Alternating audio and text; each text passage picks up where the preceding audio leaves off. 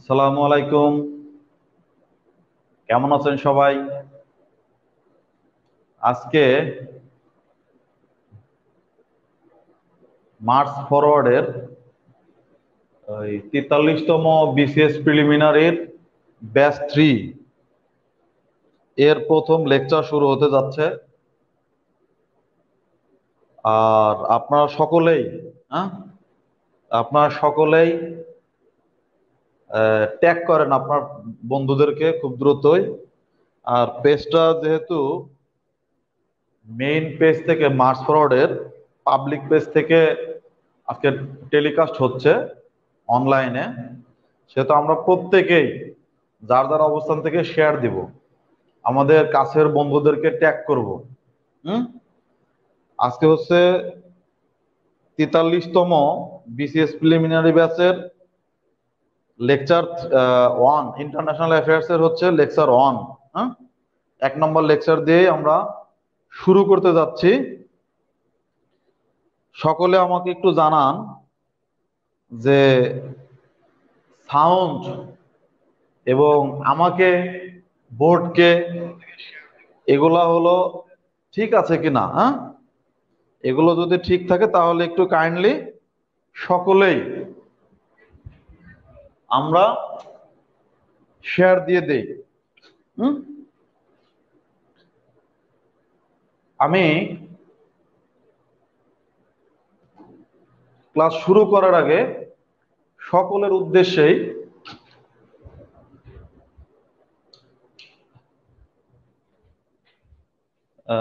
Sorry to say class শুরু করার উদ্দেশ্যে শুরু করা ক্লাস শুরু করার পূর্বেই আপনাদের সকলের উদ্দেশ্যে কিছু কথা বলব আজকে।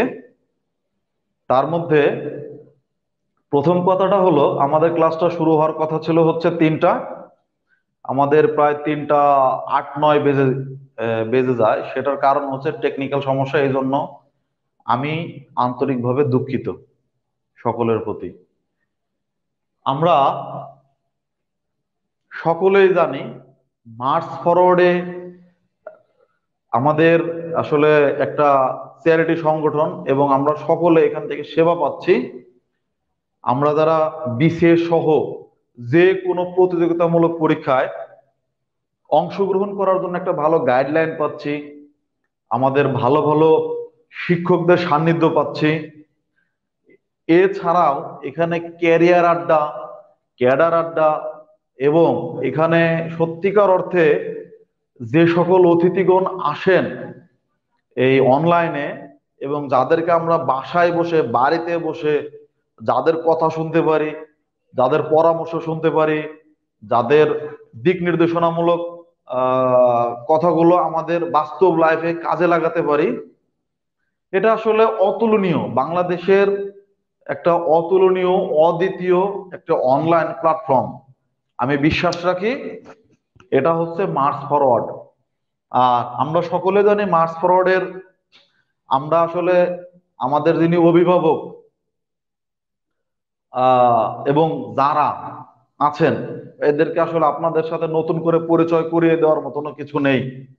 আমরা সকলে আমার মানে অবগত এই বিষয়ে, এবং আমাদের এক কথা বলতে পারি, আমরা এক কথা বলতে পারি, আমরা তাদের দেখতে দেখতে আমাদের সামনে তারা আসে এমন ভাবে এগুলো আমরা শুনে শুনে তাদের পরামর্শ শুনতে শুনতে তাদের সাথে আমরা অনেক বেশি পরিচিত এখন যে কথাটা বলব সেটা হচ্ছে, যেহেতু একটা অনলাইন প্ল্যাটফর্ম এবং এখানে মানে আনবিলিভাবল হ্যাঁ? একটা কথা আসলে ভিতর থেকে চলে আসছে, সেটা হচ্ছে, এটা হচ্ছে আনবিলিভাবল যে অনলাইন প্ল্যাটফর্মে এত ভালো সার্ভিস সবাই মানে স্টুডেন্ট এখানে আমি বলব না শুধু স্টুডেন্ট বা যারা চাকরির পরীক্ষার্থী শুধু তারাই। এটা হচ্ছে প্রত্যেকেই মানে বিশেষ করে বাদল সৈয়দ স্যার, তারপরে হচ্ছে আপনার ওবায়দ স্যার এবং এই স্টুডিওতে প্লাস অনলাইন প্ল্যাটফর্মে যে সকল শ্রদ্ধেয় আমাদের অভিভাবকগণ আসেন, বাংলাদেশের অনেক বড় বড় মাপের কর্মকর্তাগণ। আমরা আসলে দেখি মানে ব্যক্তিত্ব, প্রধান প্রধান যে ব্যক্তিত্ব গুণ আমাদের সামনে এসে কিছু কথা বলেন, এটা আসলে মানে কি বলব? এই ধরনের প্ল্যাটফর্ম বাংলাদেশে আসলেই কঠিন। আমি নিজে মাঠ ফরওয়ার্ডের একজন সদস্য হয়ে গর্বিত। এখন আসেন, আমরা যারা শুনছি, তারা প্রত্যেকেই আরও একজনকে শোনার জন্য আমরা যারা ক্লাসটা দেখছি, প্রত্যেকে এই ক্লাসটা আরও যেন অন্য কেউ দেখতে পারে, এটা সুযোগ করে দেব আজকে। এই জন্য আমরা কি করব? আমরা বেশি বেশি বেশি বেশি শেয়ার দিব এবং আমাদের বন্ধুদেরকে আমরা ট্যাগ করব। আজকে আমরা মার্চ ফরওয়ার্ডের সর্বোচ্চ সংখ্যক শেয়ার এবং সর্বোচ্চ সংখ্যক ট্যাগ যাতে হয় আজকের এই লেকচারটা এটা আমরা আজকে প্রুভ করে দেবো ইনশাল্লাহ হ্যাঁ আচ্ছা আসেন। তাহলে দেখি আপনাদের সাউন্ড প্লাস হচ্ছে লেখা টেখা সবগুলোই ক্লিয়ার আছে কিনা? আমরা একটু দেখে নেই আপনাদের কমেন্টের মাধ্যমে।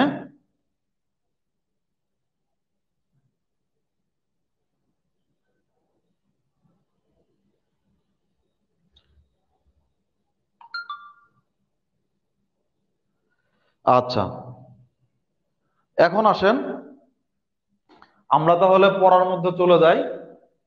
সেটা হচ্ছে আজকে আমরা যে বিষয়গুলো দেখব সেটা হচ্ছে মহাদেশ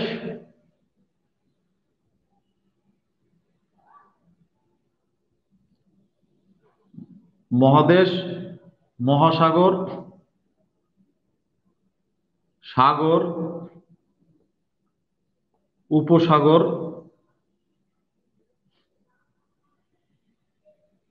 তারপর হচ্ছে দ্বীপ, উপদ্বীপ, হ্রদ, নদ, নদী। যেহেতু ইন্টারন্যাশনাল অ্যাফেয়ার্স এই বিষয়গুলো আজকে আমরা দেখব, এগুলো এগুলো বুঝব। ইন্টারন্যাশনাল অ্যাফেয়ার্স পড়তে গেলে যারা বিসিএস ক্যান্ডিডেট আমরা ইন্টারন্যাশনাল অ্যাফেয়ার্স পড়তে গেলে আমাদের ভিতরে অনেক একটা ভীতি কাজ করে। আমি বিশ্বাস রাখি, আল্লাহর অশেষ রহমত থাকলে এই ভীতিটা অন্তত পক্ষে আমাদের আজকে দূর হয়ে যাবে। ইন্টারন্যাশনাল অ্যাফেয়ার্স সত্যিকার অর্থে মুখস্থ করার কোনো সাবজেক্ট না। এটা হচ্ছে টোটালি টেকনিক্যাল এবং বোঝার একটা সাবজেক্ট যেমন ম্যাথমেটিক্স আমরা বুঝি ইংলিশ যেমন আমরা বুঝি, তেমন ইন্টারন্যাশনাল অ্যাফেয়ার্স একটা বোঝার সাবজেক্ট ইন্টারন্যাশনাল অ্যাফেয়ার্স এর পড়ার প্রতি আগ্রহ বাড়ানোর মতন একটা সাবজেক্ট আদার সাবজেক্টের পাশাপাশি আজকে আমরা এটা বিশ্বাস রাখি এবং বিশ্বাস করে দেখাবো ইনশাল্লাহ হুম? এখন আসেন, এই বিষয়গুলো আমরা আজকে দেখব।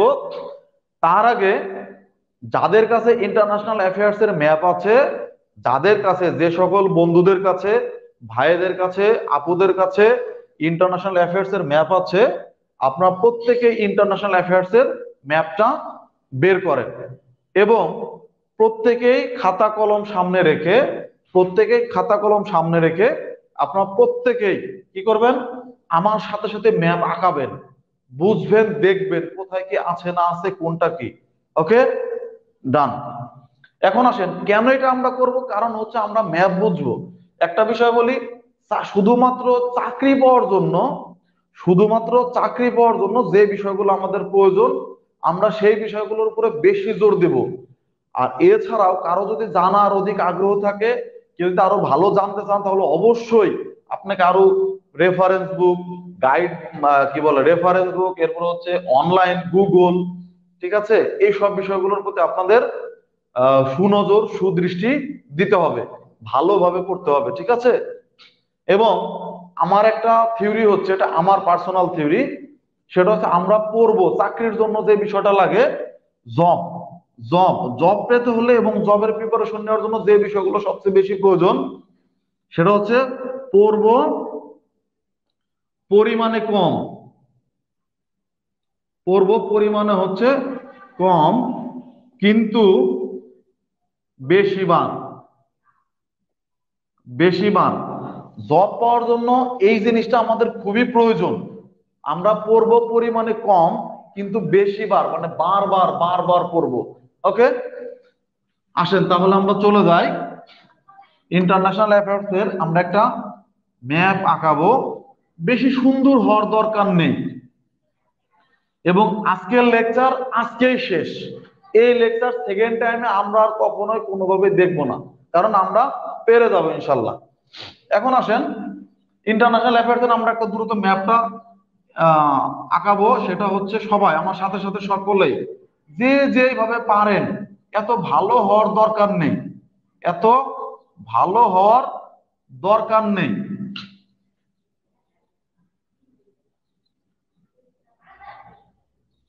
বেশি ভালো হওয়ার দরকার নেই।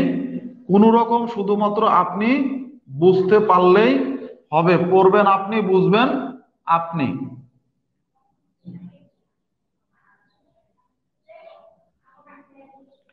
আচ্ছা এটা হচ্ছে আমাদের পৃথিবীর একটা ম্যাপ। শুরুতেই কিছু কথা বলি। পৃথিবীর ম্যাপ, আমাদের প্রত্যেকের কাছে, প্রত্যেকের বাসায় এবং প্রত্যেকের আমরা বলতে পারি, যারা স্টুডেন্ট আমরা একটা ম্যাপ কিনি। আমরা একটা ম্যাপ কিনি, এই কারণে কিনি যে ম্যাপ পড়তে হয়, কিন্তু কীভাবে পড়তে আমরা অনেকেই জানি না। এটা হতে পারে, আমিও জানতাম না। এখন আসেন, এই যে ম্যাপ করতে হয় ম্যাপ ধরে ধরে কীভাবে করতে হয়, এই বিষয়গুলো আজকে আমাদের ক্লিয়ার হয়ে যাবে ইনশাল্লাহ এই জন্য আমরা বলি, আমরা ম্যাপ বুঝব ম্যাপের উপরে। ম্যাপের ম্যাপের উপরে উত্তর, নিচে হচ্ছে দক্ষিণ। অর্থাৎ আপনি যে একটা খাতা, আপনি যে একটা খাতা বা বই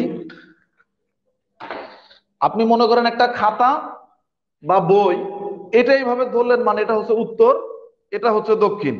অর্থাৎ এইভাবে যদি ধরি, এটা হচ্ছে উত্তর, এটা দক্ষিণ। এটা পূর্ব, এটা হচ্ছে পশ্চিম।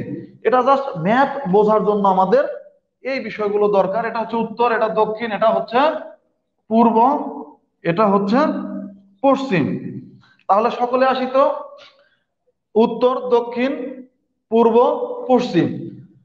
প্রশ্ন হলো, পৃথিবীতে মহাদেশের সংখ্যা কয়টি? আমি সকলের উদ্দেশ্যে একটা প্রশ্ন উত্তর করলাম। সেটা হচ্ছে সকলেই বলেন, পৃথিবীতে মহাদেশের সংখ্যা কয়টি?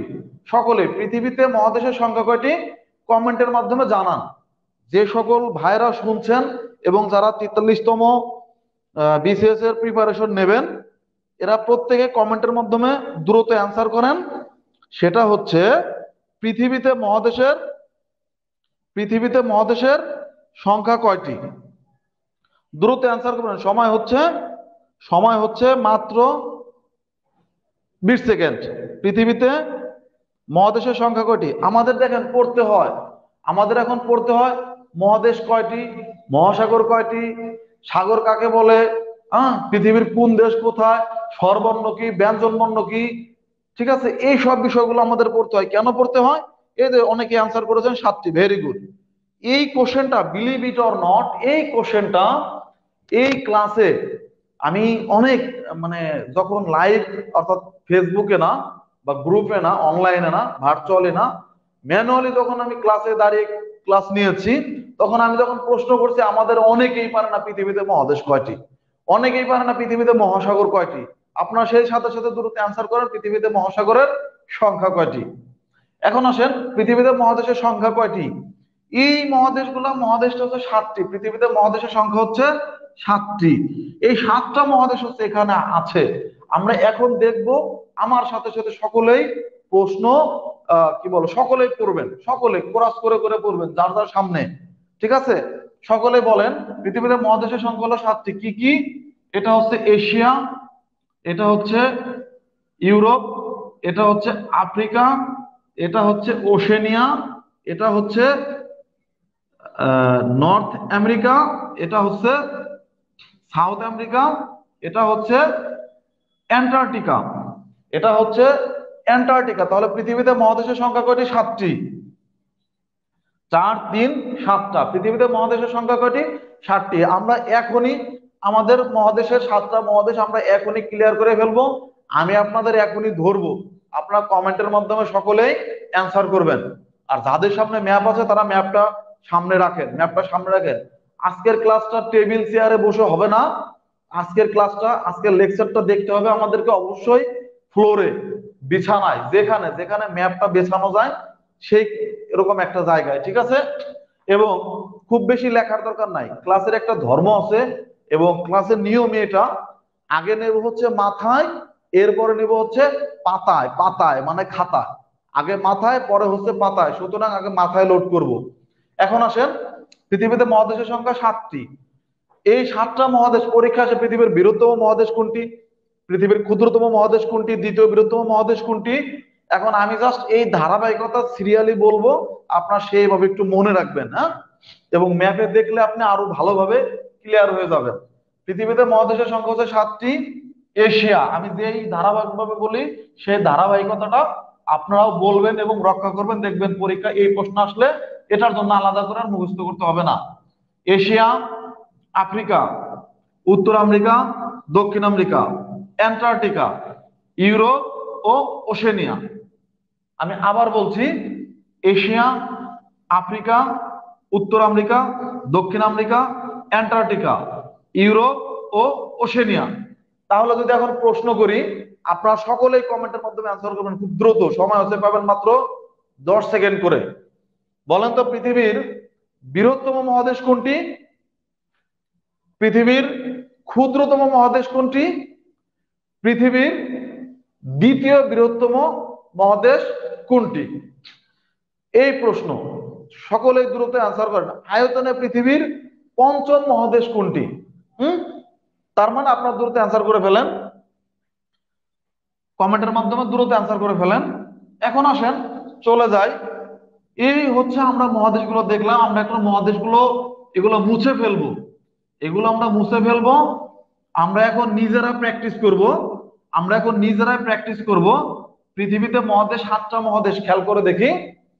পৃথিবীর সাতটা মহাদেশ, খেয়াল করে দেখি।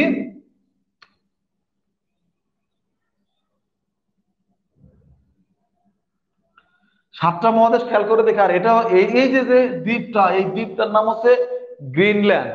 এই দ্বীপটার নাম হচ্ছে গ্রিনল্যান্ড। এটা উত্তর আমেরিকা মহাদেশের মধ্যে এরিয়া ভিত্তিকে উত্তর আমেরিকা মহাদেশে পড়ে। বাট এর রাজ, এটার মালিকানা হচ্ছে ডেনমার্ক। পরীক্ষা এই কোশ্চেনটা আসে যে গ্রিনল্যান্ডের মালিকানা নিচের কোন দেশ? ডেনমার্ক। ডেনমার্ক হচ্ছে ইউরোপের একটা দেশ, সে গিয়ে গ্রিনল্যান্ড হ্যাঁ অধিকার করে আছে যাই হোক, এগুলা নিয়ে পরে আসব। তাহলে সকলে একটু বলে তো, আমার সাথে সাথে সকলে একটু বলেন। আমি জাস্ট এখানে ধরবো, আপনারা কমেন্টের মাধ্যমে আনসার করবেন এটা এটা এটা এটা অথবা যদি কমেন্টের মাধ্যমে বলতে সমস্যা হয়, তাহলে অবশ্যই কি করবেন, সেটা মুখে মুখে ওইখানেই বলেন। মনে করেন গায়েবী ভাবে আমি আপনাদের দেখে ফেলছি বা শুনে ফেলছি, আপনারা কি করছেন? কোরাস করে করে পড়ছেন। আসেন। বলেন তো সাথে সাথে কি? এশিয়া, আফ্রিকা, উত্তর আমেরিকা দক্ষিণ আমেরিকা, অ্যান্টার্কটিকা, ইউরোপ, ওশেনিয়া। এই ওশেনিয়া মহাদেশটা নিয়ে একটু বিতর্ক আছে। অনেকে বলে এটা হচ্ছে অস্ট্রেলিয়া মহাদেশ। আসলে অস্ট্রেলিয়া মহাদেশ নাম, মহাদেশটার নাম হচ্ছে ওশেনিয়া। ওশেনিয়া মহাদেশের বৃহত্তম দেশটার নামই হচ্ছে অস্ট্রেলিয়া হ্যাঁ? তাহলে সকলে একটু মানে আমরা মোটামুটি মহাদেশগুলো ক্লিয়ার করে ফেলেছি। পৃথিবীতে মহাদেশের সংখ্যা সাতটি। এবং কি কি? এখন আসেন, এই সাত মহাদেশের মধ্যে কোন মহাদেশে কতগুলো দেশ আছে, কোন মহাদেশে কতগুলো দেশ আছে, আমরা জাস্ট এই পরিসংখ্যানটা এখন একটু লিখে রাখব। ঠিক আছে? এরপর আমরা নেক্সটে আবার আগাবো। এই পৃথিবীর ইসের মধ্যে পৃথিবীতে মোট সকলে একটু, একটা প্রশ্ন, সকলের কাছে একটা প্রশ্ন। পৃথিবীতে স্বাধীন দেশের সংখ্যা কয়টি? পৃথিবীতে স্বাধীন দেশের সংখ্যা কয়টি?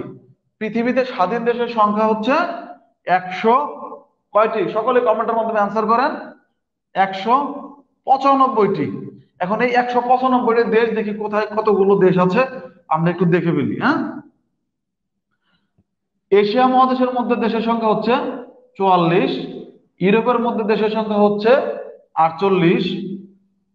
আফ্রিকাতে দেশের সংখ্যা হচ্ছে চুয়ান্ন, ওশেনিয়াতে দেশের সংখ্যা হচ্ছে চোদ্দ, উত্তর আমেরিকা মহাদেশের দেশের সংখ্যা হচ্ছে তেইশ, দক্ষিণ আমেরিকা মহাদেশের দেশের সংখ্যা হচ্ছে বারো। তার মানে কি হলো? এই হচ্ছে ছয়টা মহাদেশে দেশের সংখ্যা আমরা পেয়েছি। এখন একটা প্রশ্ন হচ্ছে, দক্ষিণ আমেরিকা অ্যান্টার্কটিকা মহাদেশে, আপনাদের সকলের কাছে একটা প্রশ্ন, অ্যান্টার্কটিকা মহাদেশে স্বাধীন দেশের সংখ্যা কত? আপনাদের সকলের কাছে একটা প্রশ্ন, অ্যান্টার্কটিকা মহাদেশে স্বাধীন দেশের সংখ্যা কত? অ্যান্টার্কটিকা মহাদেশে সকলের কাছে প্রশ্ন, অ্যান্টার্কটিকা মহাদেশে স্বাধীন দেশের সংখ্যা কতটি?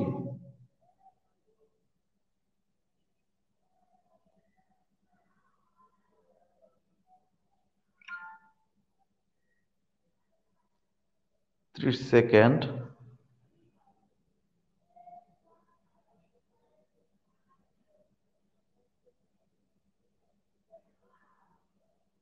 অ্যান্টার্কটিকা মহাদেশের স্বাধীন দেশের সংখ্যা কয়টি?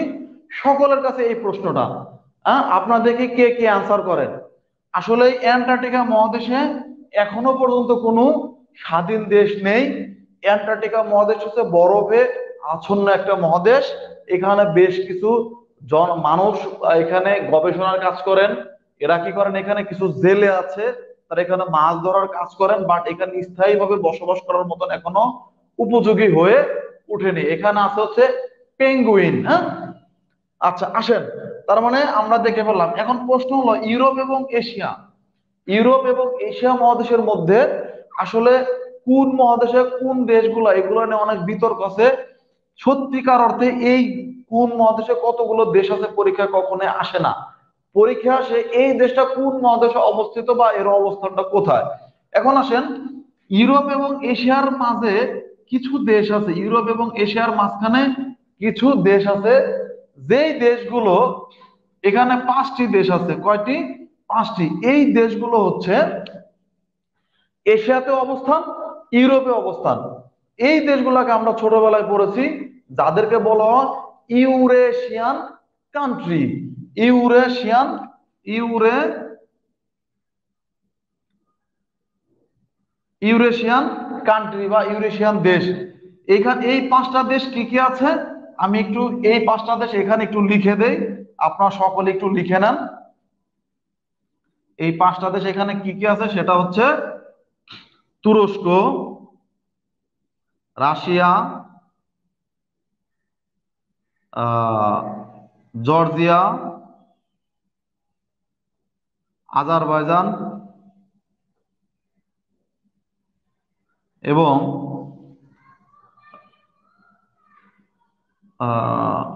রাশিয়া তুরস্ক আজারবাইজান জর্জিয়া।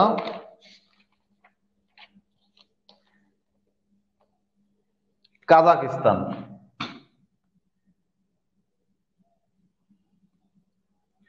এই পাঁচটা দেশ যার অবস্থান হচ্ছে এখানে। আমরা সকলেই জানি এশিয়া মহাদেশের মধ্যে, এশিয়া মহাদেশটা পৃথিবীর আয়তনে বৃহত্তম মহাদেশ হওয়ার কারণটাই কিন্তু রাশিয়া। রাশিয়া বিশাল এক দেশ বাট রাশিয়া হচ্ছে ইউরেশিয়ান কান্ট্রি দুই মহাদেশে যার অবস্থান হ্যাঁ? এখন আসেন, এই দেশগুলো পরীক্ষায় এখান থেকে যে প্রশ্নটা আসে, পরীক্ষায় প্রশ্ন আসে শুধুমাত্র তুরস্ক। পরীক্ষায় প্রশ্ন আসে টার্কি বা তুরস্ক, যে নিচের কোন দেশটি দুই মহাদেশে বিভক্ত? তুরস্ক। আবার বলে নিচের কোন দেশটি দুই মহাদেশে বিভক্ত? পরীক্ষায় যে অপশনটা আসে সেটা হচ্ছে তুরস্ক। আমরা বাকিগুলো জেনে নিব। এবং নিচের কোন শহরটি দুই মহাদেশে বিভক্ত বা কোন নগরীটি? সেই নগরীটি হচ্ছে তুরস্কের নগরী, যার নাম হচ্ছে ইস্তানবুল। যার নাম হচ্ছে ইস্তানবুল। ইস্তানবুল। সুতরাং এই হচ্ছে ইউরোশিয়ান কান্ট্রি এখান থেকে পরীক্ষায় প্রশ্ন আসে। আমাদেরকে অবশ্যই এই প্রশ্নগুলোর সম্মুখীন হতে হবে এবং আমাদের বুঝতে হবে, জানতে হবে এবং দেখতে হবে। এই ছিল হচ্ছে মহাদেশ কেন্দ্রিক। মহাদেশ কাকে বলে? মহাদেশ কি? অর্থাৎ মহাদেশ কি? এইটা নিয়ে আলোচনা যেহেতু আমরা মহাদেশটা দেখে ফেললাম, এখন আমরা একটা কাজ করব। যেই কাজটা হচ্ছে, ম্যাপে দেখব আমরা। কোথায় দেখব? ম্যাপে দেখব। এবং কোন মহাদেশটা কোথায় অবস্থিত সেটা হচ্ছে ম্যাপে দেখব। ম্যাপের যে কি অবস্থা করে রাখছি, এটা দেখেন আমরা, আপনারা। এটা হচ্ছে ম্যাপ, ওকে? এটা হচ্ছে ম্যাপ। এই ম্যাপের দেখেন, কোথায়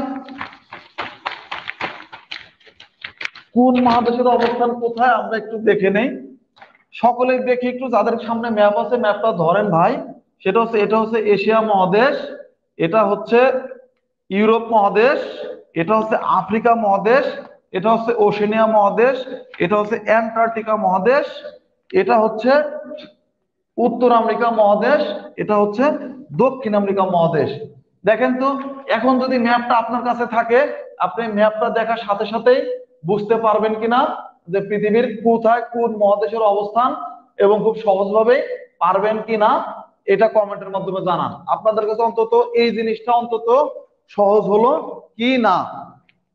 কমেন্টের মাধ্যমে সকলে অ্যান্সার করেন, আপনাদের এই জিনিসটা সহজ লাগল কিনা, সকলে কমেন্টের মাধ্যমে অ্যান্সার করবেন, আমরা একটু জানি। আপনারা আসলে কতটুকুকে উপকৃত হলেন? এখন আসেন, আমরা দেখব মহাদেশের পরে দেখব মহাসাগর।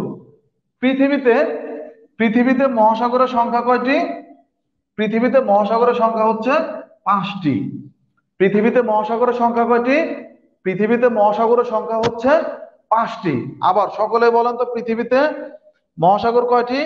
পৃথিবীতে মহাসাগরের সংখ্যা হচ্ছে পাঁচটি। কি কি?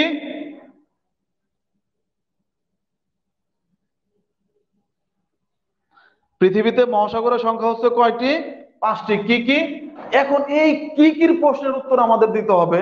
কি কি? সকলেই বলেন। যারা যারা জানেন এবং যারা জানেন অন্তত একটা দুটাও তো জানেন, সকলেই কমেন্টের মাধ্যমে অ্যান্সার করেন। আপনি যখন কমেন্টের মাধ্যমে লিখবেন, আপনার এখন যদি একটা, দুটো ভুলও হয়ে যায়, আপনি খুব সহজভাবে পরের থেকে আপনার জীবনও ভুল হবে না, পারবেন। আপনার কাছে খুবই সহজ লাগবে এবং সহজ মনে হবে। এখন আসেন মহাসাগর কয়টি? মহাসাগর হচ্ছে পাঁচটি। কি কি? প্রশান্ত মহাসাগর। প্রশান্ত মহাসাগর।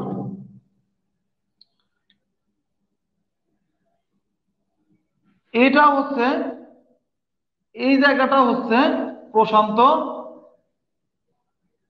মহাসাগর। আমি এগুলো একটু মুছে ফেলি। এগুলা কাজে লাগবে না। যখন দরকার হবে আমি এগুলো আবার সংশোধন করব।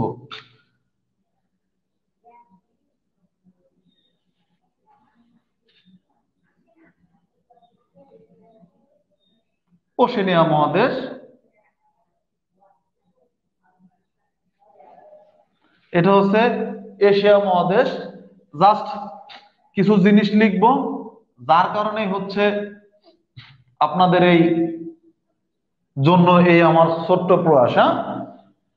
খেয়াল করে দেখি সবাই। সবাই, সকলে একটু খেয়াল করে দেখি। এটার নাম হচ্ছে প্রশান্ত মহাসাগর। পাঁচটা মহাসাগর কি কি? প্রশান্ত মহাসাগর। এই জায়গাটা এটা হচ্ছে কিন্তু প্রশান্ত মহাসাগর। তাহলে সকলে অ্যান্সার করি তো? সকলে আমার সাথে সাথে বলেন তো পৃথিবীতে প্রশান্ত মহাসাগর কয়টি? পৃথিবীতে প্রশান্ত মহাসাগর কয়টি? প্রশান্ত মহাসাগর হচ্ছে এই একটা এই একটা মানে কয়টি? মানে একটি। মানে কয়টি? মানে হচ্ছে একটি প্রশান্ত মহাসাগর। কারণ আমরা সকলেই জানি এটা কি হচ্ছে পৃথিবী? পৃথিবী দেখতে কি এরকম চ্যাপ্টা? না। পৃথিবীটা হচ্ছে অনেকটাই গোলাকার, কমলা লেবুর মতন। সে কমলার রসালো রগুলো আমরা খেয়ে ফেলেছি, খোসাটা উপরে দিয়ে দিচ্ছি, সে খোসাটাকে এই ইসের উপরে বোর্ডের উপরে প্রতিস্থাপন করেছি। এই পৃথিবীটা হচ্ছে গোল, অর্থাৎ প্রশান্ত মহাসাগরটা হচ্ছে এইভাবে। এই যে খেয়াল করে দেখেন, এই যে আমরা এখানে আপনার ম্যাপে দেখবেন ম্যাপে দেখবেন যে এইখানে এসে খেয়ে গেছে, আবার এখানে এসে খেয়ে গেছে। তার মানে এইটা কি? এই যে খেয়ে গেল মানে এইটা হচ্ছে গোল, এইভাবে লেগে গেল। সুতরাং প্রশান্ত মহাসাগর হচ্ছে একটি। এটাও প্রশান্ত মহাসাগর, এটাও প্রশান্ত মহাসাগর। এটার নাম হচ্ছে আটলান্টিক মহাসাগর, এটা হচ্ছে আটলান্টিক, এটা হচ্ছে আটলান্টিক মহাসাগর হ্যাঁ? এটা হচ্ছে আটলান্টিক মহাসাগর।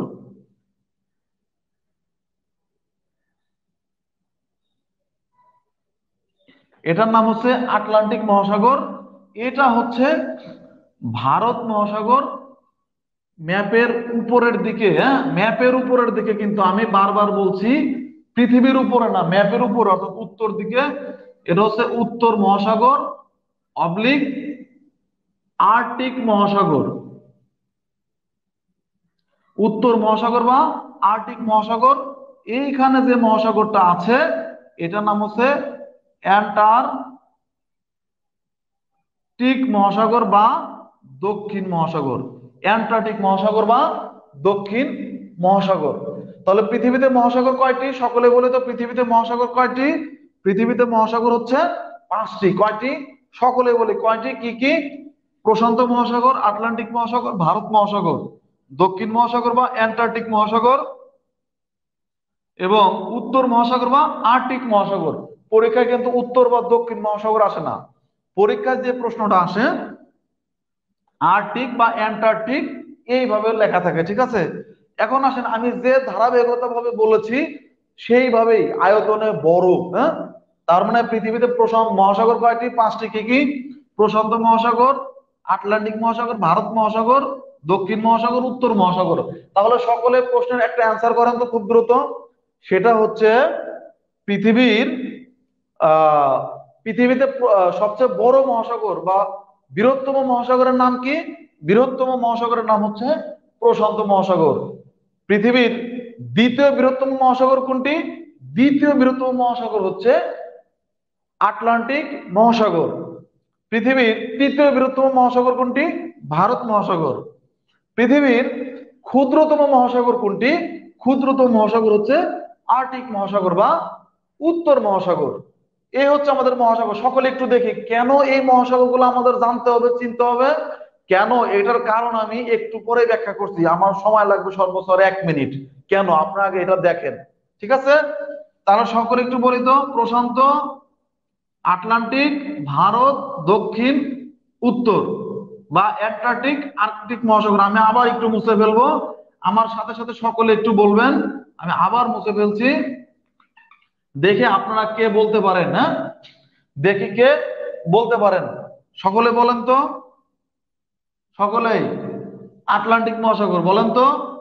ভারত মহাসাগর, প্রশান্ত মহাসাগর প্রশান্ত মহাসাগর, উত্তর মহাসাগর বা আর্টিক মহাসাগর, দক্ষিণ মহাসাগর বা কি? অ্যান্টার্কটিক মহাসাগর। এই হলো পাঁচ কয়টা মহাসাগর হলো? পাঁচটি মহাসাগর। দেখেন, এই মহাসাগরগুলো আমাদের কেন জানা দরকার? কারণ হলো কারণ হলো একটু পরে আসছি। তার আগে আমরা জেনে নেই। ম্যাপ দেখলে কি আমি মহাসাগরগুলোর অবস্থান কোথায় কোথায় আছে বলতে পারব? ম্যাপ দেখলে কি আমি মহাসাগরগুলোর অবস্থান বলতে পারব? এই এই প্রশ্নের উত্তর খোঁজার জন্য বা এই প্রশ্নের অ্যান্সার জানার জন্য আমাকে যেভাবে কাজ করতে হবে সেটা হচ্ছে খেয়াল করে দেখেন। আবার চলে যাব এখানে। আমরা এখানে গিয়ে আমরা দেখব, খেয়াল করে দেখি, এটা হচ্ছে প্রশান্ত মহাসাগর সবাই। ম্যাপে দেখব আমরা। এটা হচ্ছে প্রশান্ত মহাসাগর, এটাও প্রশান্ত মহাসাগর, এইটা হচ্ছে আটলান্টিক মহাসাগর, এটা হচ্ছে আটলান্টিক মহাসাগর, এইটা হচ্ছে ভারত মহাসাগর ভারত মহাসাগর। খেয়াল করে দেখেন তো পরীক্ষা একটা প্রশ্ন আছে ভারত মহাসাগরের অবস্থানটা কোথায়? দেখেন, ভারত মহাসাগর এমন একটা জায়গায় অবস্থান এশিয়া মহাদেশ, আফ্রিকা মহাদেশ, ওশেনিয়া মহাদেশ, আবার অ্যান্টার্কটিকা মহাদেশ, অথবা অ্যান্টার্কটিক মহাসাগরের উপরে। সুতরাং ভারত মহাসাগরের অবস্থানটা কোথায়? আবার ভারত মহাসাগরের সাথে সংযোগ স্থাপন করেছে, এগুলো নিয়ে আলোচনা আছে, ইউরোপের সাথে এই দিক দিয়ে সংযোগ হয়। সুতরাং ভারত মহাসাগর অনেক গুরুত্বপূর্ণ একটা মহাসাগর, ঠিক আছে? তার মানে মহাসাগর কোন, কয়টি আমরা খুব সহজভাবে বুঝে যাব। এখন আসেন, কেন আমাদের এই মহাসাগরগুলো, মহাদেশগুলো দেখার দরকার ছিল বা কেন আমাদের এটা দরকার? এটার যে উত্তর, সেটা আমরা এখনই পেয়ে যাচ্ছি। সেটা হচ্ছে পরীক্ষায় দেখেন আসে প্রণালী এবং খাল। বিলিভ অর নট আমি অনেক ভাই বোনকে দেখেছি, আমার অনেক বন্ধুদেরকে দেখেছি, যারা প্রণালী এবং কি বলে, খাল, এগুলা পড়ার জন্য কি করেন? ছন্দ মুখস্থ করেন, ছন্দ। আমি উত্তরা ব্রাঞ্চে উত্তরাতে একটা স্টুডেন্ট পেয়েছিলাম, যারা যারা উত্তরা আছেন, বর্তমানে তারা কমেন্টের মাধ্যমে বলেন আমি উত্তরা থেকে শুনছি। ঠিক আছে? আচ্ছা উত্তরাতে পেয়েছিলাম, সে একজন বলেছিল যে আমি তো এই প্রণালী আমার সবই পারি। কিন্তু দশ পনেরো দিন পরে যদি আমি আবার রিভিশন না দেই, তাহলে আমি ভুলে যাই। প্রশ্ন করলাম, কেন বলেন বলেন আমি তো ছন্দ মুখস্থ করেছি। কীভাবে? তখন বলে, যেমন ধরেন, পক প্রণালী পক। একটা প্রণালীর নাম আছে হচ্ছে পক। তা পক প্রণালী আমি ছন্দটা, আমার শুধু এটা মনে আছে ভাই। কি ছন্দ? বলে যে পক প্রণালীর মনে রাখার উপায় হলো পক প্রণালী ভারত এবং শ্রীলঙ্কাকে পৃথক করেছে। কীভাবে মনে রাখছেন ভাই? তখন বলে, ভারত শ্রীলঙ্কাকে পক মারলো। হ্যাঁ ভারত শ্রীলঙ্কাকে পক মারলো। তার মানে পক প্রণালী ভারত ও শ্রীলঙ্কাকে পৃথক করেছে। এই কথা শুনে আমি বললাম বা ফাইন ক্লাসে সবাই অবশ্যই হেসেছিল, আমি নিজেও। আসলে এইরকমই তো হয়, সবাই ছন্দ মুখস্থ করে।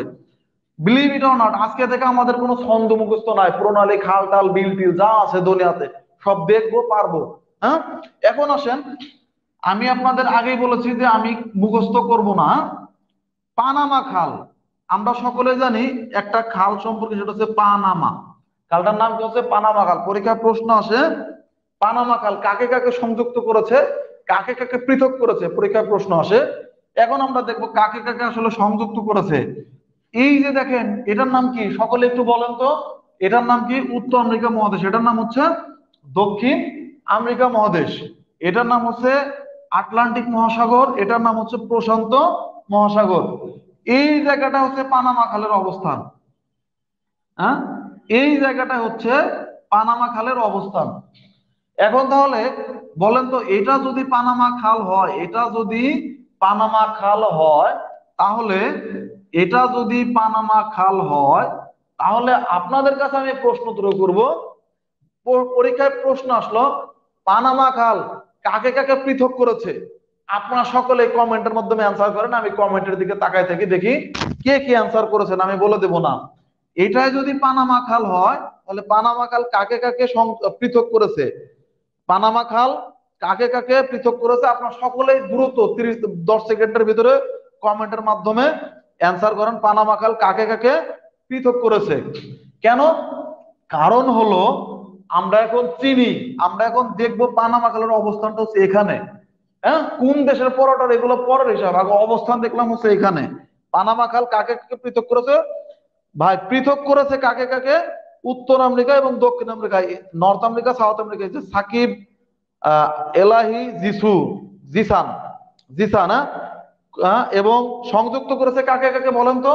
সংযুক্ত করেছে কাকে কাকে?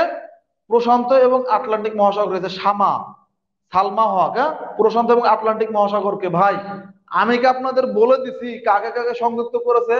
আমি কি আপনাদের একবারও বলেছি কাকে কাকে পৃথক করেছে? শুধুমাত্র আমি আপনাদের দেখিয়ে দিছি, এটা উত্তর আমেরিকা মহাদেশ, এটা দক্ষিণ আমেরিকা মহাদেশ, এটা প্রশান্ত মহাসাগর, এটা আটলান্টিক মহাসাগর। ভাই, আপনারা সকলে অ্যান্সার করেছেন। যারা যে সকল ভাইরা অ্যান্সার করেছেন, যে সকল বোনেরা, আপুরা অ্যান্সার করেছেন সকলকে ধন্যবাদ এবং সকলেই পেরেছেন। আমি খুশি যে অন্তত আপনারা বুঝতে পেরেছেন। আজকে থেকে হচ্ছে আমরা চিনবো। আমরা কি করব? আমরা চিনবো। আমরা কোনোভাবেই মুখস্থ করব না করব না করব না। আমরা ইন্টারন্যাশনাল অ্যাফেয়ার্স কি করব? ম্যাপ ধরে ধরে পড়ব। বিলিভ ইট অর নট আপনি যদি ম্যাপ ধরে ধরে ইন্টারন্যাশনাল অ্যাফেয়ার্স পড়েন, আপনার মিনিমাম সিক্সটি পার্সেন্ট পড়া সিক্সটি পার্সেন্ট সিক্সটি পার্সেন্ট পড়া কমপ্লিট হয়ে যাবে শুধু একদম উইদাউট মুখস্থ। ঠিক আছে? কোন প্রকার মুখস্থ করা ছাড়া। মনে থাকবে তো ইনশাল্লাহ। এখন আসেন, পানামা খাল আমরা সবাই আসলে বলে ফেলছি, আমি আর আসলে বলব না আপনাদের। কারণ আপনারা নিজেরাই আনসার করেছেন। এখনও যারা পারেন না তারা ম্যাপটা ধরেন ম্যাপে দেখে তারপরে বলেন। দেখেন, এই যে ম্যাপে আমাদের কত সুন্দর করে বোঝানোর জন্য কত কষ্ট করে চেষ্টা করে। ঠিক আছে? বাট আমরা কে কতটুকু পারি, এটার উপরে সেটা নির্ভর করে।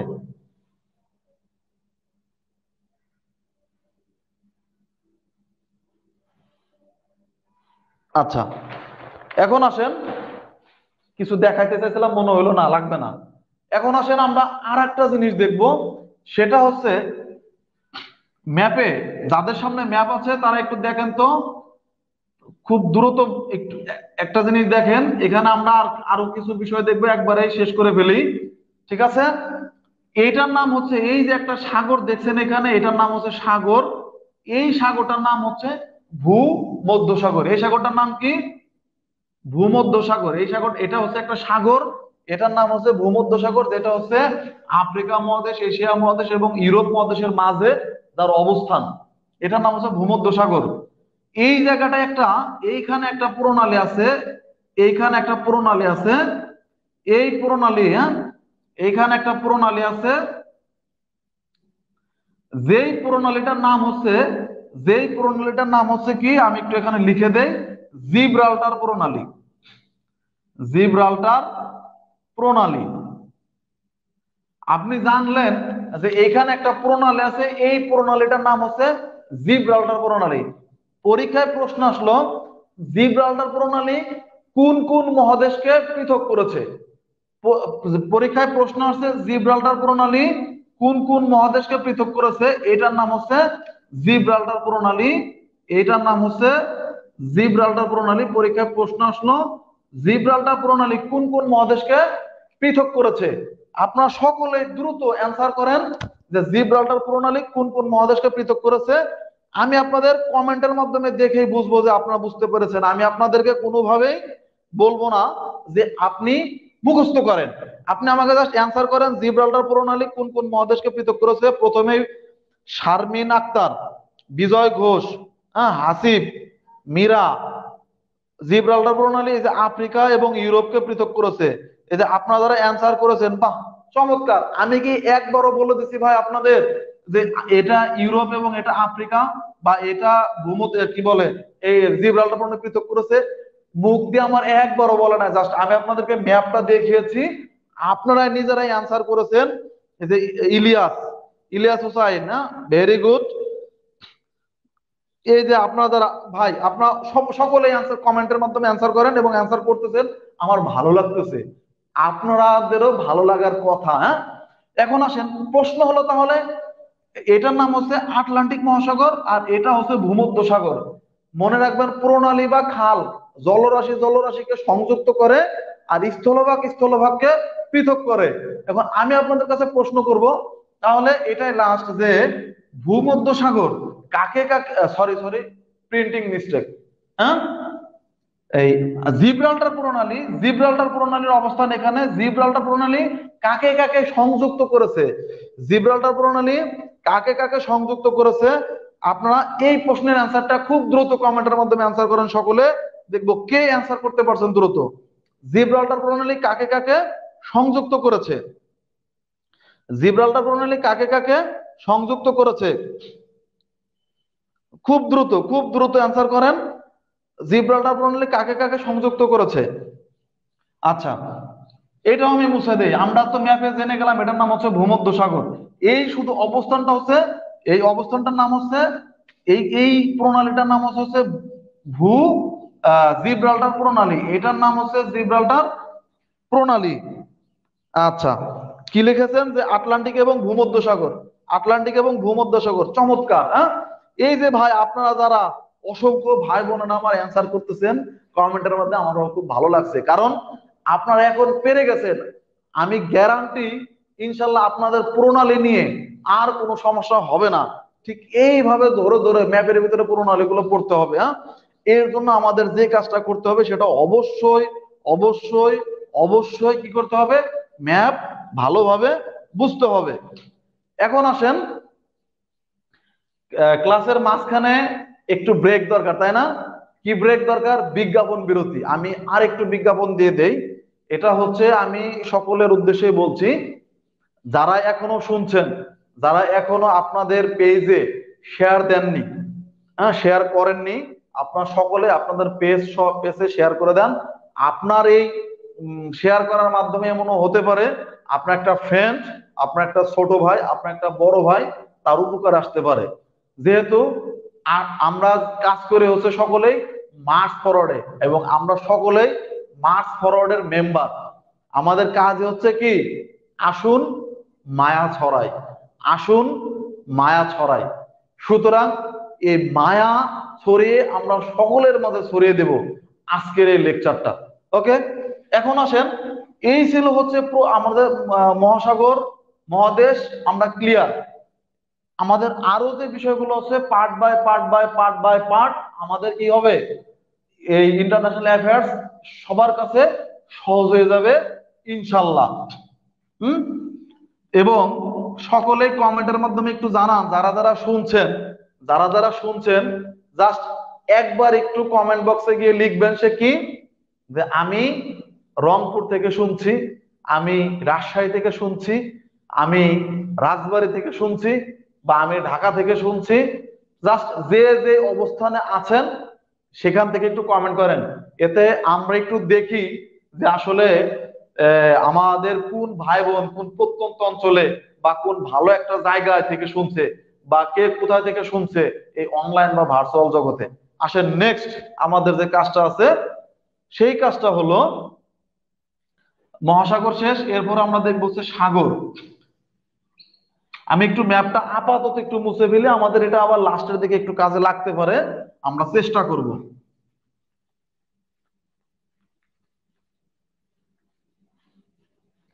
আমরা এখন দেখব তার মানে মহাসাগর হ্যাঁ? মহাসাগর শেষ। মহাসাগর কাকে বলে? সকলে একটু জেনে রাখি, পরীক্ষায় কখনোই আসে না, কিন্তু জেনে রাখি মহাসাগর কাকে বলে? মহাসাগর হচ্ছে কি? বিস্তীর্ণ জলরাশিকে মহাসাগর বলে। কারণ এই মহাসাগরের কি নেই? এক কথা বলতে গেলে যার কোনো আসলে সীমানা খুঁজে পাওয়া মুশকিল। আছে, নাই যে তা না, কিন্তু আপনার চলার পথে পাওয়া আপনার জন্য কঠিন হয়ে যাবে হ্যাঁ? মহাসাগর হচ্ছে বিশাল জলরাশিকে মহাসাগর বলে। মহাসাগরের পর আমরা দেখব হচ্ছে সাগর। সাগর হচ্ছে মহাসাগরের চেয়ে কম বিস্তীর্ণ জলরাশি। সাগরটা হচ্ছে, মহাসাগর হচ্ছে কম বিস্তীর্ণ জলরাশিকেই সাগর বলে। আমরা সাগর থেকে যে পরীক্ষা আসার মতন যে প্রশ্নগুলো আছে, আমরা একটু সেগুলো দেখব। এই একটা প্রশ্ন আছে, পৃথিবীর বৃহত্তম, পৃথিবীর বৃহত্তম সাগর কোনটি? পৃথিবীর বৃহত্তম সাগর কোনটি? পৃথিবীর গভীরতম গভীরতম সাগর কোনটি? পৃথিবীর বৃহত্তম সাগর কোনটি এবং পৃথিবীর গভীরতম সাগর কোনটি? যারা যারা পারেন খুব দ্রুত কমেন্টের মাধ্যমে লিখে ফেলেন। যারা যারা পারেন তারা খুব দ্রুত কমেন্টের মাধ্যমে লিখে ফেলেন। ঠিক আছে? আচ্ছা পৃথিবীর বৃহত্তম সাগরের নাম হচ্ছে দক্ষিণ চীন সাগর। দক্ষিণ চীন সাগর। পৃথিবীর বৃহত্তম সাগরের নাম হচ্ছে দক্ষিণ চীন সাগর, আর পৃথিবীর গভীরতম সাগরের নাম হচ্ছে ক্যারিবিয়ান। ক্যারিবিয়ান সাগর। পৃথিবীর গভীরতম সাগরের নাম হচ্ছে ক্যারিবিয়ান সাগর। এই দুটা কোশ্চেন পরীক্ষায় আসে। আমি একটু মুছে ফেলি। আরও দ্রুত টানতে হবে, কারণ আমাদের আরও অনেক টপিকস আছে বোঝা যেগুলো হচ্ছে আমাদের পরীক্ষায় আসার মতন খুবই গুরুত্বপূর্ণ এবং পাশাপাশি আমাদের জানতে হবে এবং বুঝতে হবে। এখন আসেন আচ্ছা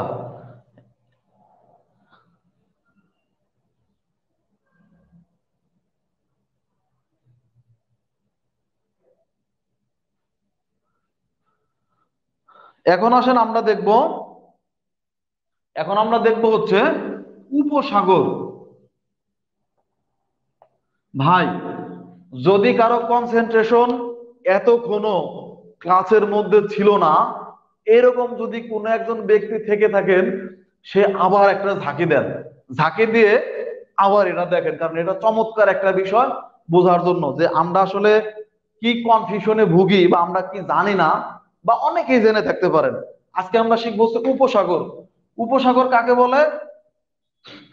উপসাগর কি? প্রথমে আমরা জানি উপসাগরের ইংলিশ দুটা ওয়ার্ড আছে। ইংরেজিতে দুটো ওয়ার্ড বলে, একটাকে বলে হচ্ছে বে আর একটাকে বলে হচ্ছে গালফ।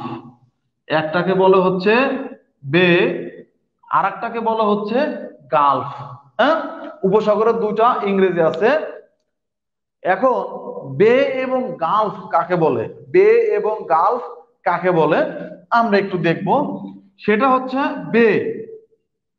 উপসাগরের একটা সংজ্ঞা, বে এর সংজ্ঞা। আমরা তার সংজ্ঞাটা শুনব। না লিখলেও চলবে। কারণ আমাদের ক্লাসের ধর্মটাকে আগে নেব হচ্ছে মাথা, এরপরে হচ্ছে পাতায়। আসেন, কি নেব? সেটা হচ্ছে বে কাকে বলে? বে হচ্ছে উল্টা ভিয়াকৃতি বেটা এইখানেই করি। বে হচ্ছে উল্টা ভিয়াকৃতি। যার যার তিন দিকে স্থলভাগ।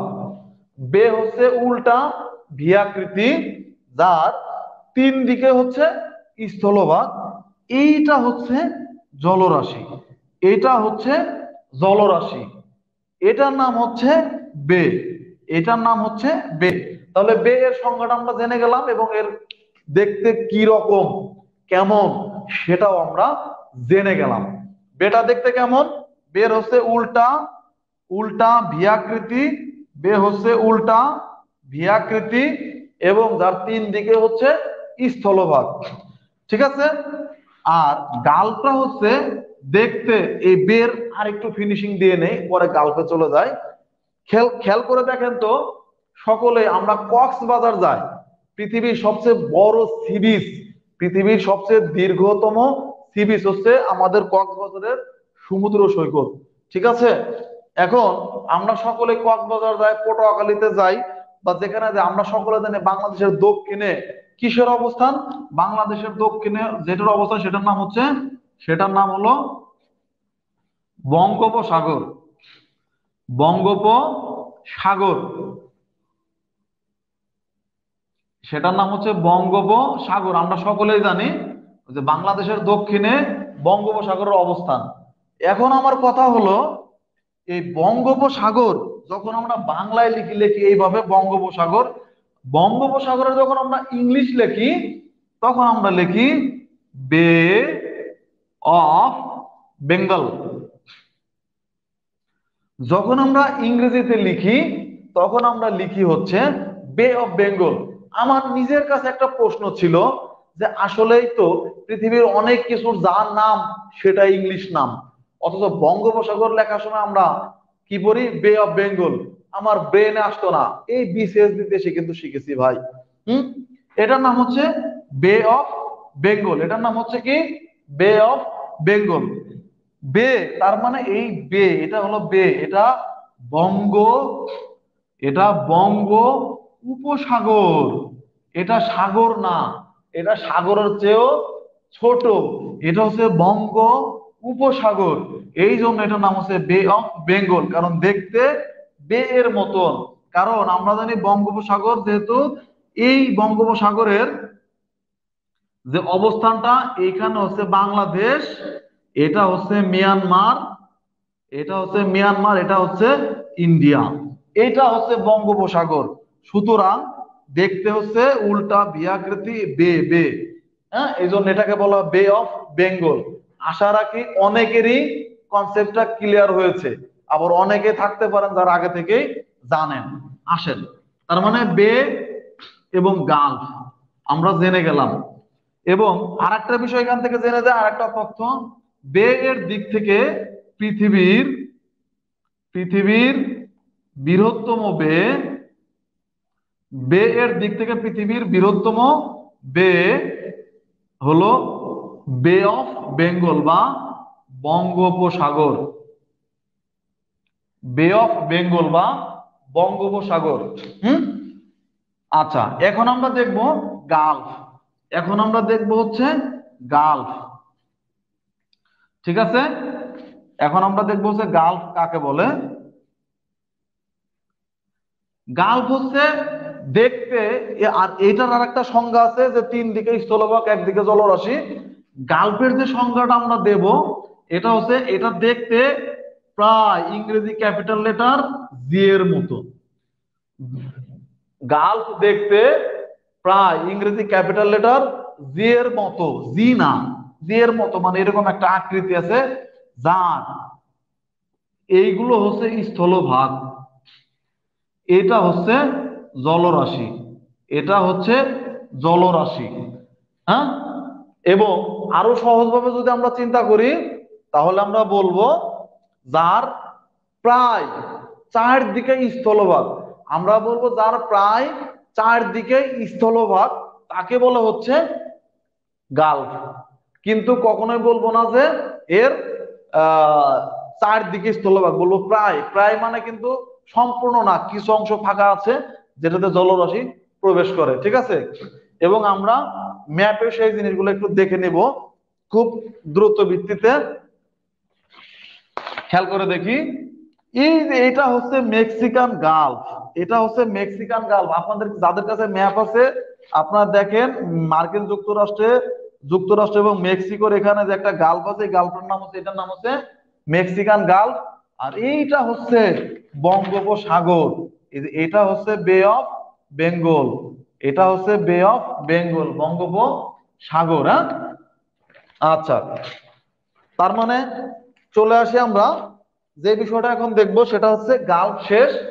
গাল্ফ নিয়ে যে পরীক্ষা প্রশ্ন, সেটা হচ্ছে পৃথিবীর বৃহত্তম গাল্ফ যদি গাল্ফ বলা হয়, তাহলে অ্যান্সার হবে যেটা দেখালাম, সেটার নাম হচ্ছে Mexican Mexican gulf Mexican gulf okay এখন আসেন, উপসাগর থেকে যদি কোনো পরীক্ষায় প্রশ্ন আসে, সবচেয়ে মজার বিষয় হলো, পরীক্ষায় যখন প্রশ্ন করা হয়, তখন বাংলাদেশের পরীক্ষা মানে আমাদের সরকারি চাকরির পরীক্ষায় যে প্রশ্ন সাধারণত এসে থাকে, সেটা হলো আসে পৃথিবীর বৃহত্তম উপসাগর কোনটি? সেটার অ্যান্সার হবে কিন্তু মেক্সিকান গালফ বা মেক্সিকান উপসাগর হ্যাঁ? মেক্সিকান উপসাগর, বঙ্গোপসাগরের চেয়েও বড়।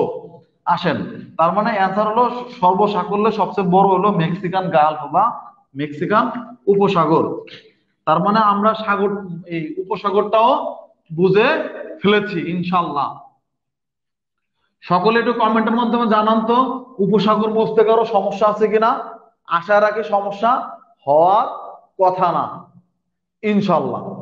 এখন আসেন, আমরা উপসাগর পরে দেখব হচ্ছে দ্বীপ, খুব দূরত্ব দেখব সেটা দ্বীপ। দ্বীপটা কাকে বলে?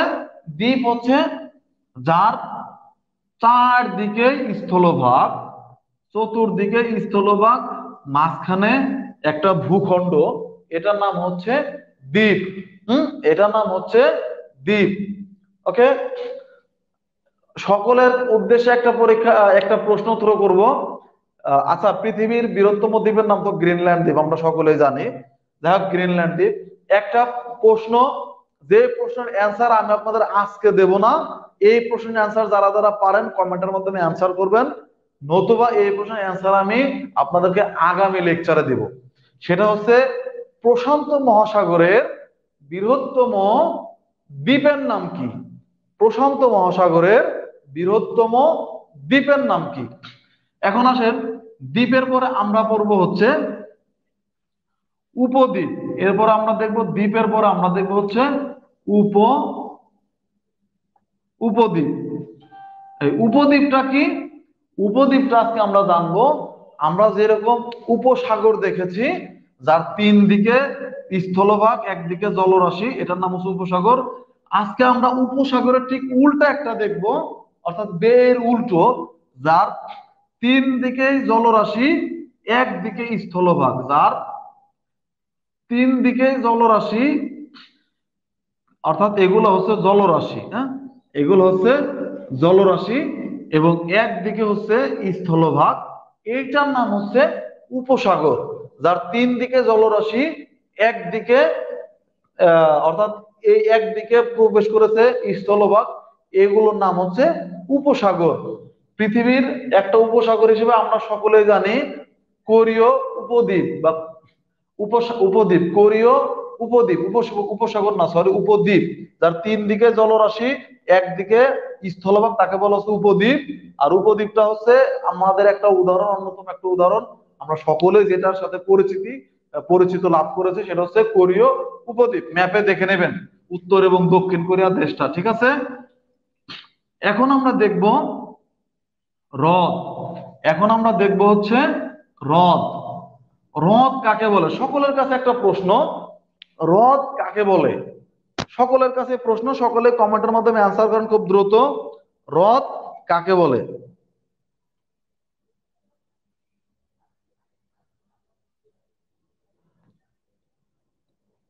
হুম? কাকে বলে? সেটা হচ্ছে, সকলে কমেন্টের মাধ্যমে অ্যান্সার করেন হ্রদ কাকে বলে? আচ্ছা হ্রদটা কি দেখেন, আমরা হ্রদ চিনি না ভাই। আমরা হ্রদ চিনি না আমরা কি চিনি জানেন? আমরা চিনি হচ্ছে লেক। আমরা চিনি হচ্ছে লেক। অর্থাৎ আমরা বাংলা বুঝি না, ইংরেজি একটু কম বুঝি। আমরা বাংলা বুঝি না, ইংরেজি একটু কম বুঝি। ঠিক আছে? অর্থাৎ হ্রদ হ্রদ হচ্ছে লেক। এখন চিন্তা করেন, যারা ঢাকায় আছেন বা যারা বিভিন্ন লেকের পাশে আছেন বা যারা বিভিন্ন জায়গায় লেক দেখেছেন, তারা এখন বুঝতে পারছেন লেকটা কেমন। লেকটা হচ্ছে যার সকল দিকে স্থলভাগ এগুলো হচ্ছে জলরাশি। এরকমই আঁকা বাঁকা হওয়া লাগবে, এরকম কোনো শর্ত নাই। অর্থাৎ এটা হচ্ছে জলরাশি এবং চতুর্দিকে হচ্ছে স্থলভাগ। এটার নাম হচ্ছে হ্রদ। যেমন ধানমন্ডি লেক হ্যাঁ? তারপর Gulshan lake Foy's lake Kaptai lake বহুত আছে, ঠিক আছে? সুতরাং আপনারা এখন চিন্তা করেন যে হ্রদটা কি? তার মানে আমরা এতদিন যেটা পড়েছি লেক দেখেছি, ওইটার নাম হচ্ছে হ্রদ পরীক্ষায় যে প্রশ্নগুলো আসে, সেই প্রশ্নগুলো আমি একটু লিখে দিচ্ছি। প্রথম প্রশ্নটা হলো, যে প্রশ্ন আসে, পৃথিবীর বৃহত্তম হ্রদ পৃথিবীর বৃহত্তম হ্রদ এবং পৃথিবীর গভীরতম হ্রদ গভীরতম হ্রদ। পৃথিবীর বৃহত্তম হ্রদ এবং গভীরতম হ্রদ, এটার নাম কি? এই দুটা পরীক্ষায় অনেক বেশি আসে এবং দুটা কনফিউশন করে। আজকেই লাস্ট জীবন আর কোনোদিন কনফিউশন হবে না। যদি কথাটা মনে রাখতে পারেন, ইনশাল্লাহ মুখস্থ করতে হবে না। সেটা হচ্ছে পৃথিবীর বৃহত্তম হ্রদ যেটা, সেটার নাম হচ্ছে কাস্পিয়ান কাস্পিয়ান সাগর। আর গভীরতম হ্রদ যেটা, সেটার নাম হচ্ছে বৈকাল। হ্রদ। প্রশ্ন হলো, পরীক্ষায় অপশন আছে কাস্পিয়ান সাগর। যখন পরীক্ষায় আপনি ঢুকবেন, পরীক্ষা হলে পৃথিবীর বৃহত্তম হ্রদের নাম কি? আপনি যখন দেখবেন যে কাস্পিয়ান সাগর আগে আপনি ক্রস মার্ক দিবেন, মনে মনে চিন্তা করবেন এটা কি না এটা হচ্ছে হ্রদ না, কারণ নিচে পিছনে শেষে সাগর লাগানো আছে। অবশ্যই ভুল, কারণ কাশ্মীর সাগরটার আকার আকৃতি এত বড়, এমন, এটা প্রায় সাগরের ন্যায়। সুতরাং এবং কাশ্মীর সাগরের আবার চতুর্দিকে জলরাশি না স্থলভাগ। এই জন্য হচ্ছে এটা হচ্ছে হ্রদ। তার মানে এটা হ্রদ এবং সাগর দুইটা বৈশিষ্ট্য বহন করে। পরীক্ষা যদি আসে, পৃথিবীর বৃহত্তম হ্রদ কি? আনসার হবে কাশ্মীর সাগর। আর বাকিটা হচ্ছে গভীরতম হ্রদ। প্রথম ভাবে মনে রাখবেন, এইভাবে রাখতে পারেন, যেহেতু সাগর আছে, তার মানে এটা বড়, বৃহত্তম, বাকিটা বৈকাল, এটা হচ্ছে গভীরতম ছোট গভীরতম হ্যাঁ? এখন আসেন লিখতে। কাস্পিয়ান লিখতে বড় না বৈকাল লিখতে বড়? হুম? সকলে বলেন তো বৈকাল লিখতে বেশি সময় লাগে বা বেশি বড় হয়? না কাশ্মিয়ান লিখতে বড় হয়? কাশ্মিয়ান যদি কাশ্মিয়ান লিখতে বড় হয়, এটা হলো বৃহত্তম। আর যেহেতু বৈকাল লিখতে ছোট হয়, ছোট জিনিস ভিতরে বেশি যায়, এটা হলো গভীরতম। সুতরাং পৃথিবীর বৃহত্তম সাগর কি হ্রদ? কাশ্মিয়ান সাগর এবং পৃথিবীর গভীরতম হ্রদ বৈকাল হ্রদ। এখন আমরা আমাদের আজকের লেকচারের সর্বশেষ টপিক চলে আসলাম, সেটা হচ্ছে নদ নদী। সেটা হচ্ছে নদ নদী। সকলের কাছে একটা প্রশ্ন, নদ এবং নদীর মধ্যে পার্থক্য কি? সকলের কাছে প্রশ্ন, নদ এবং নদীর মধ্যে পার্থক্য কি? আপনারা যারা জানেন, আমি আর অল্প একটু সময় নেব, আপনারা যারা জানেন, আপনারা খুব দ্রুত নদ এবং নদীর মধ্যে পার্থক্যটা কমেন্টের মাধ্যমে জানান। নদ এবং নদীর মধ্যে পার্থক্যটা খুব দ্রুত একটু জানান।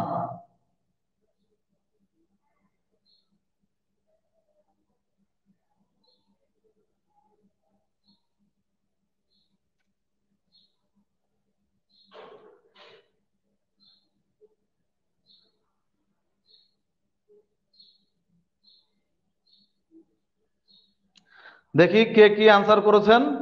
নদ এবং নদীর মধ্যে।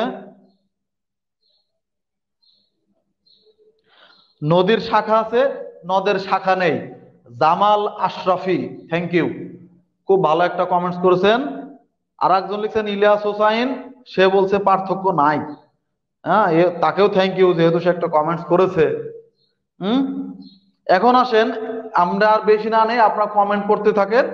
এই জামাল আশরাফি হ্যাঁ এই ভাইয়ের অ্যান্সারের প্রশ্নের আলোকে আমরা চলে যাই মানে এর উত্তরের আলোকে। সেটা হচ্ছে পৃথিবীতে নদ এবং নদীর মধ্যে পার্থক্য কি আছে? খেয়াল করে দেখি আমরা। বাংলাদেশে যদি আসি, ব্রহ্মপুত্র নদ ব্রহ্মপুত্র নদ, এই ব্রহ্মপুত্র নদের শাখা নদী কি? যমুনা। আরও আছে।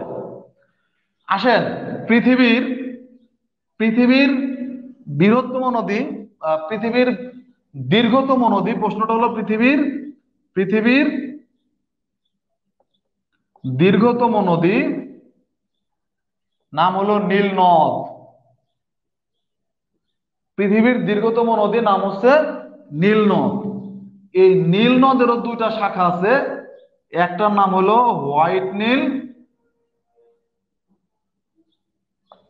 হোয়াইট নীল আর একটার নাম হচ্ছে ব্লু নীল। ব্লু নীল। তার মানে কি হলো? আশরাফি, জামাল আশরাফি যে অ্যান্সারটা করেছেন, সেই অ্যান্সারটা ছিল, শাখা আছে, শাখা নেই। এখন আসেন, দেখেন তো পৃথিবীর দীর্ঘতম নদী হচ্ছে নীল নদ। বাংলাদেশের ব্রহ্মপুত্র দেখলাম। তার মানে নীল নদের দুটো শাখা আছে, একটা হোয়াইট নীল, একটা হচ্ছে ব্লু নীল। সুতরাং আপনার যে প্রশ্নের উত্তর করেছেন, সেটা কি ভুল প্রমাণিত হলো? আপনি বাজ বিচার করেন, আপনি কমেন্টের মাধ্যমে অ্যান্সার করেন হ্যাঁ? সত্যিকার অর্থে বৈশিষ্ট্যগত দিক থেকে, বৈশিষ্ট্যগত দিক থেকে নদ এবং নদীর মধ্যে কোনো পার্থক্য, নদ এবং নদীর মধ্যে কোনো পার্থক্য নেই। নদ এবং নদীর মধ্যে কোনো পার্থক্য নেই। শুধুমাত্র বাংলা ব্যাকরণে এই যে নদকে পুরুষ বলা হয়, নদীকে স্ত্রী বলা হয় হ্যাঁ? নদ এবং নদী নিয়ে একটা গল্প করি হ্যাঁ?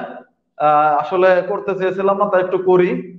সেটা হচ্ছে একটা ছেলে এবং একটা মেয়ে অপরিচিত, এদের মধ্যে একটা কথোপকথন হচ্ছে বাই ফোন হ্যাঁ? ফোনে কথা বলছে। তা ফোনের কথা বলার মধ্যে ছেলেটা জিজ্ঞাসা করছে, কে বলছেন? মেয়েরা দেখবেন বেশিরভাগ ক্ষেত্রে নিজেদের নাম একটু গুছিয়ে সুন্দর করে বলার চেষ্টা করে। মেয়েটা বলছে, আমি নদী বলেছি। কারণ মেয়েদের কাব্যিক নাম, সাহিত্যিক নাম, প্রেমিকা নাম, অনেক কিছুই হতে পারে। নদী। এই মেয়েটা জিজ্ঞাসা করেছে, আপনি কে? বলেছেন। তখন এই পাশ থেকে ছেলেটা বলেছে, আমি কি বলেছি? উত্তর। ছেলেটা অ্যান্সার করেছে, আমি ব্রিজ ব্রিজ ব্রিজ কই থাকে? হুম? আসেন। এ হচ্ছে নদ এবং নদী। নদ এবং নদীর মধ্যে আসলে কোনো পার্থক্য নাই। পৃথিবীর দীর্ঘতম নদী নীল নদ হোয়াইট নীল, ব্লু নীল এবং পৃথিবীর গভীরতম নদী, পৃথিবীর গভীরতম নদীর নাম হচ্ছে আমাজান। আমাজান। এটা শুধু গভীরতম না, এটা হচ্ছে গভীরতম এবং বৃহত্তম। পৃথিবীর গভীরতম এবং বৃহত্তম নদী হচ্ছে আমাজান। পৃথিবীর বৃহত্তম এবং গভীরতম নদী হচ্ছে আমাজান। বাংলাদেশের বাংলাদেশের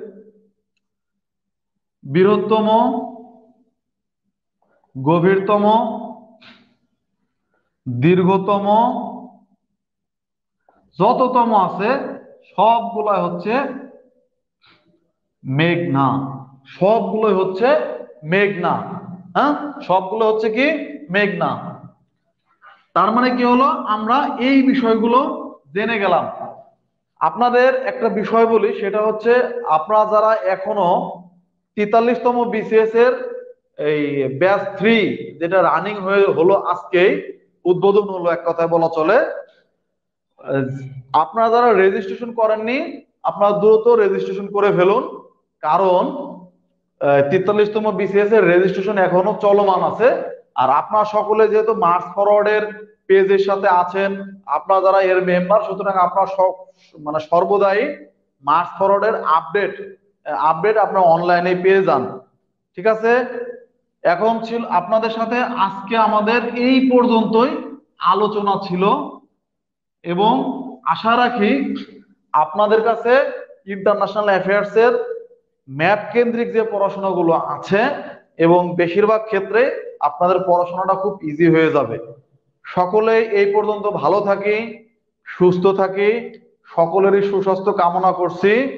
বিশেষ করে আমি, আমরা প্রাণ ভরে দোয়া করব।